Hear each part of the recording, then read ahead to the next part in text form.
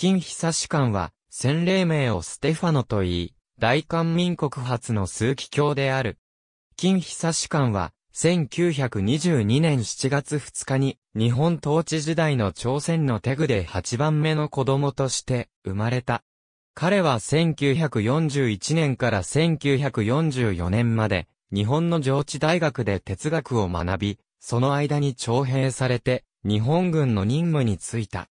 1947年から1951年まで、韓国天主教大学で哲学の勉強を続け、1957年から1964年まで、ドイツのミュンスター大学で進学及び社会学を学んだ。金久士官は1951年9月15日に、司祭に除会され、1966年2月15日に、馬山教区司教に任命された。教皇パウロ6世は1968年に、金久士官を、ソウル大司教区大司教に挙げた。大司教就任演説で、彼は、大韓民国のカトリックに、存在にならず、社会に溶け込みかつ貧しい人や社会に奉仕する、教会になることを要請した。1969年4月28日、パウロ6世は、わずか46の金久士官を、数奇教の位に上げ、その他にも平壌教区の教皇庁代理を兼任させた。彼は、韓国初の数奇教である外に、当時ローマカトリック内で最年少の数奇教であった。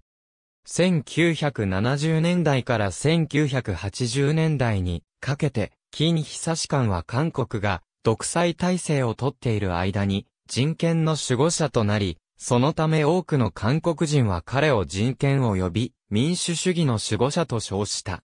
1990年代には、韓国での反米親北の傾向を憂い、北朝鮮の人権及び体制に注意を払う必要性を表明した。1998年に開催したアジア、司教会議特別大会では、金久士官は3人の主席の代表の一人に選ばれた。金久士官は、同年4月3日に正式に、ソウル大司教区大司教及び、平壌教区教皇庁代理の職務を辞任し、帝鎮大司教が後を引き継いだ。金久士官は2008年に、体の衰弱で入院し、同年10月初めには、呼吸困難になり、重体になった。翌年2月15日には、突然肺炎の症状を起こし、午後に病状はさらに悪化した。2009年2月16日、夕方の6時12分に、ソウル大司教区の江南西部病院で世を去る。86歳であった。最後に、ありがとうございます。愛し合いましょうという言葉を残した。金久士官は1989年に臓器移植同意書に署名していたので、同日夜の7時20分に、眼球の移植手術を二人の病人に行い、その後亡き柄は、ソウルミョンドン聖堂に移された。この後、4日間で約40万人もの群衆が、教会まで弔問に訪れた。葬儀は、同月20日ミョンドンカテドラルで行われ、その後、劉仁氏カトリックソウル大教区聖職者陵園内に葬られた。ABCDE、カーディナル、キムソーファン。www.catholic-pages.com。2009年12月30日閲覧。AB、ザカージナルス・オブ・ザ・ホーリー・ロマン・チャーチ。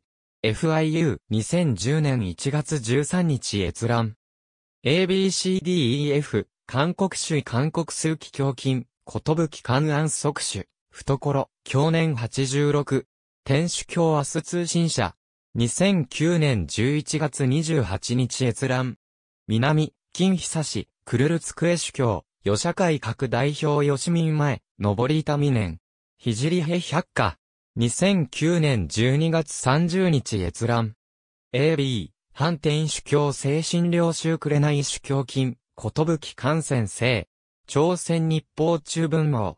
2009年12月30日閲覧。http://japanese.joins.com スラッシュアーティクルスラッシュアーティクル .php エドイコール 124,480& サーブコードイコール400セクトコードイコール400、4.40万軍、敗生、人川総別金、ことぶき館。朝鮮日報中文網。2009年12月30日閲覧。ありがとうございます。